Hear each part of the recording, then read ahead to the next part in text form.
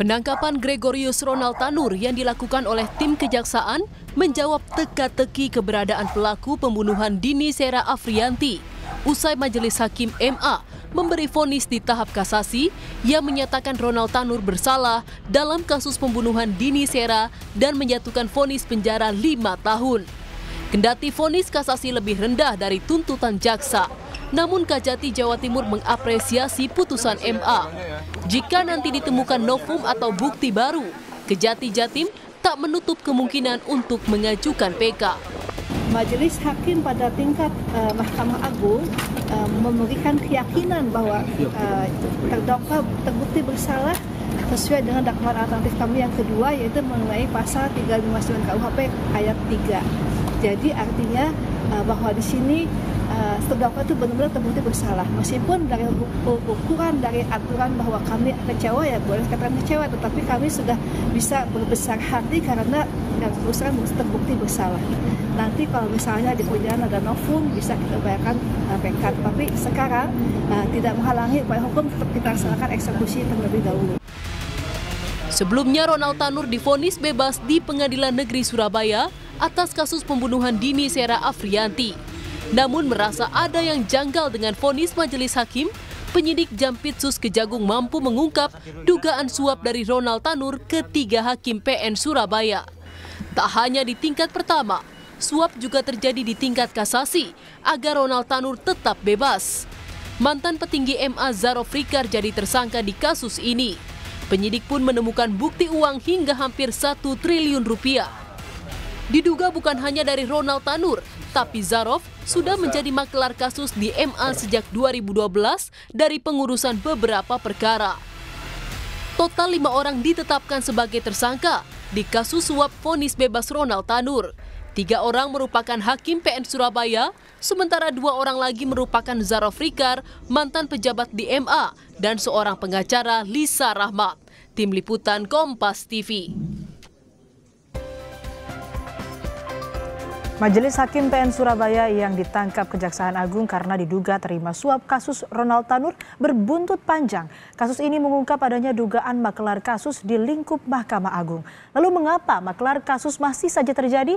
Benarkah akibat rendahnya kesejahteraan penegak hukum?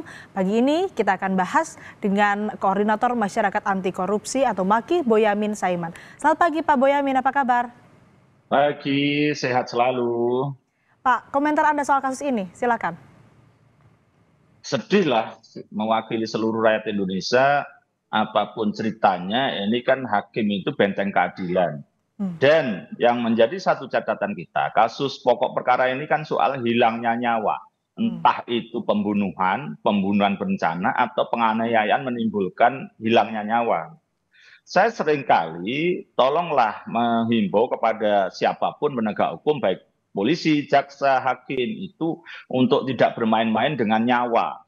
Ini kan nyawa yang hilang gitu.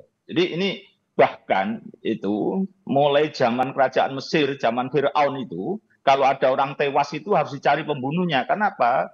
Ada istilah waktu itu kepercayaan, eh, negara akan kena azab, bisa kekeringan minimal begitu. Bahkan bisa ada badai, bisa ada bencana kalau sampai pembunuhnya tidak diketemukan dan kemudian tidak dihukum setimpal. Kalau zaman waktu itu memang mata dibalas dengan mata, eh, mati dengan hukuman mati.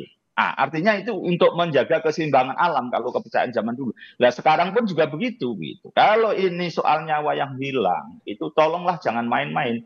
Tapi ternyata ada putusan bebas karena ternyata diduga disuap. Nah, dan itu pun sudah dikoreksi oleh Mahkamah Agung bahwa eh, terdakwa itu dinyatakan bersalah menganiaya menimbulkan nyawa yang hilang. Itu suatu yang menurut saya ini sangat prihatin, menyedihkan kita semua. Zaman modern kayak begini, zaman sistem IT kayak begini, kemudian ditemukan uh, sampai level uang hampir mendekati satu triliun ini hmm. uh, maklar kasusnya. Ini yang sungguh ini justru saya berharap Kejaksaan Agung mengembangkan perkara ini. Nggak mungkin ini istilahnya hanya menembak di atas kuda, hanya menipu gitu loh. Karena hmm. apa? Karena ini pasti berurutan sekian waktu bisa 10 tahun yang lalu dimulainya dan orang percaya makin percaya makin percaya begitu. Jadi kalau sekali dua kali hanya nipu orang tidak percaya lagi sampai dihitung itu satu triliun hampir satu triliun Nah, belum yang sudah dibelanjakan, dijadikan aset, dijadikan uh, mobil, jadikan rumah atau di, uh, disembunyikan tempat yang lain masih memungkinkan itu. Emasnya aja kan yang di rumah sampai 50 kilo. Nah, hmm. jangan-jangan ini ada yang di deposit box. Ini ke, uh, Kejaksaan Agung harus cepat ini karena apa pun bagi saya selain itu juga patut diduga ini mengalir ke mana-mana. Hmm. Bahasa saya kalau kemarin itu kan dia men, uh, alokasi untuk mengurus kasasi supaya bebas itu kan ada uang yang disediakan 5 miliar dan upahnya untuk dia satu miliar satu berbanding lima kalau eh, ini satu triliun jangan-jangan yang beredar itu lima triliun yang untuk nyogok-nyogok kan gitu kan atau hmm. paling tidak satu berbanding satu aja lah gitu kan dia dapat upah satu triliun eh, dikumpul-kumpulin dari perkara-perkara yang bisa jadi uang beredarnya satu triliun juga jadi ini yang menurut saya tolonglah sekalian Kejaksaan Agung maupun Mahkamah Agung berkolaborasi bekerja sama untuk membersihkan lembaga. Jadi hmm. jangan sampai nanti semua orang akhirnya berpikiran hukum itu ya bisa dibeli. Hmm. Itu Mbak Asih. Ya, artinya kan ini mirisnya adanya maklar yang jadi maklar adalah mantan pejabat di Mahkamah Agung. Nah, ini juga membuat hakim jadi main-main dan terjadilah kasus dugaan suap ini. Ini memang karena lemahnya pengawasan atau bagaimana? eh, saya kira lemahnya pengawasan karena dalam konteks ini kan eh, selalu ada ruang-ruang gelap istilahnya kan dan ini eh, eh, masih banyak hal yang bisa diterobos itu misalnya Mahkamah Agung eh, misalnya berbenah tidak boleh ada orang yang berseliweran masuk dijaga segala macam tapi kan orang-orang oknum ini justru malah orang dalam ini kan gampang leluasa pertemuan di luar hakim agungnya tidak bisa disentuh, tapi orang-orang sekitarnya yang bermain, ah, lebih jahat lagi kan gitu. Jadi ini yang menurut saya uh, selain lemahnya pengawasan ya mental buruk dan kemudian serakah. Jadi hmm. ini yang menurut saya apa pun uh, dari sisi itu saya berkali-kali menyampaikan untuk menduduki jabatan apa pun baik di lembaga pemerintahan maupun uh, penegak hukum itu harus ada profil assessment hmm. yang psikolog kita itu ilmunya sudah sangat hebat, orang integritas, orang yang mau bekerja uh, keras dan kemudian tidak terlalu serakah atau bahkan tidak serakah itu bisa di asesmen. Nah, itu yang harus uh, diterapkan ke depan, Mas Ri. Hmm, ya artinya bukan hanya karena pengawasannya yang kurang, tapi juga dari faktor internal begitu ya. Ada uh, keserakahan gitu di dalam oknum-oknum uh, yang melakukan uh, dugaan suap ini. Lalu menurut Anda kalau uh, tadi sudah disebutkan faktor-faktor yang uh, menjadi penyebab adanya dugaan suap dan juga oknum-oknum yang melakukan uh, tindakan pidana begitu ya di dalam uh, tubuh Mahkamah Agung ataupun juga hakim-hakim di pengadilan negeri. Nah, kita juga tahu kemarin sempat ada demo hakim-hakim yang uh, mengaku kesejahteraannya ini kurang. Nah, apakah menurut Anda semua hmm. itu juga karena rendahnya gaji hakim? Ya, salah satu lah. Tapi kalau sebenarnya nganggap cukup, ya cukup harusnya gitu. Dan uh, saya pun mendukung bahwa gaji hakim harus dinaikkan karena juga ada perbedaan. Hakim pajak itu uh, uangnya yang diterima itu bahkan sampai tiga kali lipat hakim biasa. Padahal kerjanya hakim biasa itu kan lebih berat dari hakim pajak. Nah, itu kemarin ketika itu saya mendukung bahwa gaji-gaji hakim dinaikkan. Justru dengan kita naikkan, nanti kita tinggal jewer, tinggal melecut, tinggal menghajarnya kalau mereka korupsi menerima suap lagi. Gitu. Nah, hmm. ini kan bisa saja memang dalih karena kesejahteraannya kurang. Tapi menurut saya, setahu saya tunjangan mereka, gaji mereka juga sudah cukup melebihi pegawai negeri biasa sebenarnya. Tapi hmm. ya oke okay lah, nggak apa-apa kalau ini kita naikkan gaji dan saya setuju dan kemarin ikut mendukung uh, gaji hakim dinaikkan. Tapi hmm. justru dengan itu kita bisa menagih mereka kalau kalian nakal awas loh ya kira-kira hmm. gitu sih jadi hmm. ini yang perlu di anu, apa sorry tadi saya ingin menambahkan dari data yang uh, eh, JR itu hmm. justru kemarin saya dapat dokumen masih ikut perjalanan dinas pimpinan Mahkamah Agung ke Madura. Itu hmm. di nomor 14 saya dari data saya lah. Berarti dia sudah pensiun dua tahun masih bisa ikut ke mana-mana dan jadi masuk daftar. Nah inilah sistem kong kalingkongnya selain pengawasan saya duga ya yang harusnya ngawasi eh, bisa jadi ya ikut bermain oknumnya gitu. Bagaimana dia bisa ikut rombongan uh, pejabat Mahkamah Agung ke Madura yang pada posisi dia sudah pensiun hmm. hampir tiga tahun yang lalu gitu. Dan waktu tertangkap tangannya tertangkapnya itu di Bali itu juga ada kegiatan uh, Hakim Agung di sana. Apakah dia kebetulan atau ikut ada yang ngajak lah itu tugasnya Kejaksaan Agung penyidik untuk mendalaminya gitu. Dan uh, data ini sudah uh, juga satu yang saya yang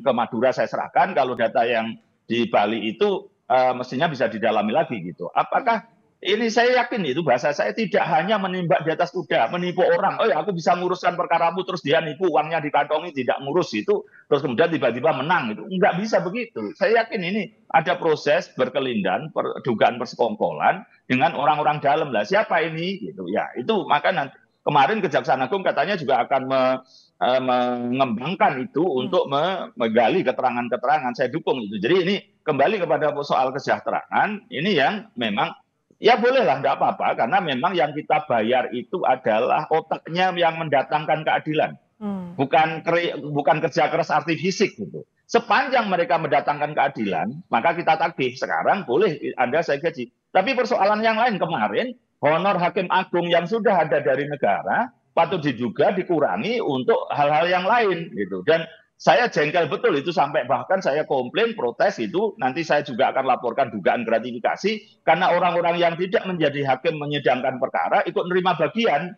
Nah itu yang menurut saya memang perlu bersih-bersih. Ini uh, ada orang mengatakan memang misalnya TNI sudah uh, ada reformasi, polisi juga sudah bagian, legislatif juga, eksekutif juga. Tapi lembaga keadilan Mahkamah Agung dan pengadilannya ini ada orang mengatakan belum tersentuh oleh reformasi misalnya hmm. begitu. Nah ini yang uh, perlu memang kita gali betul dan kemarin sebenarnya KPK juga sudah menghajar tanda kutip hakim-hakim agung yang bagaimana Gazal Basaleh itu disidangkan terungkap bagaimana dia uang-uang uh, yang beredar itu malah untuk membangun rumah teman dekatnya misalnya. Hmm. Jadi ini yang uh, memang perlu jadi uh, mudah-mudahan tahun ini adalah tahun bersih-bersih di Mahkamah Agung. Hmm. Bukan kita memusuhi Mahkamah Agung, bukan menjelek-jelek Mahkamah Agung, tapi kita mencintai Mahkamah Agung untuk mendatangkan keadilan supaya kepercayaan masyarakat duit rakyat yang digaji untuk mereka itu mendapatkan imbalan Oke. yang semestinya gitu Asri. Baik, terakhir Mas Boyamin singkat saja, kira-kira upaya apa yang bisa dilakukan untuk mencegah maklar kasus ini?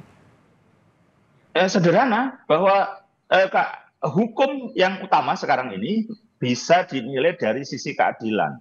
Nah, persoalannya kan putusan-putusan kita itu sering berbeda-beda di sebuah kabupaten di uh, Jawa Tengah itu ada perkara tanah yang dari dulu zaman keraton itu satu perkara bisa diwaris, satu perkara tidak bisa diwaris sampai Mahkamah ma, eh, sorry sampai Mahkamah Agung itu juga masih seperti itu. Jadi hukum kita ini belum bisa diprediksi mana yang kuat, mana yang lemah. Padahal kalau di luar negeri, oh perkara ini bisa dikatakan kuat karena putusan yang jurisprudensi atau putusan yang dulu-dulu bisa jadi acuan. Nah kita ini perkara penipuan, penggelapan, dan pemalsuan. Ada yang mengatakan perdata, tapi ada juga mengatakan itu kejahatan. Dan hmm. itu banyak mas sampai sekarang. Jadi ini kalau mau membenahi selain tadi uh, pengawasan hakim, tapi dari sisi hukum sendiri harus dibenahi bahwa aturan kita harus ada keadilan dan kepastian hukum.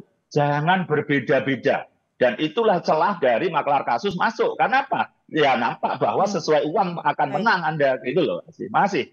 Baik, terima kasih Pak Boyamin Saiman, Koordinator Masyarakat Anti Korupsi Indonesia, telah bergabung bersama kami di Sapa Indonesia Pagi. Saya selalu.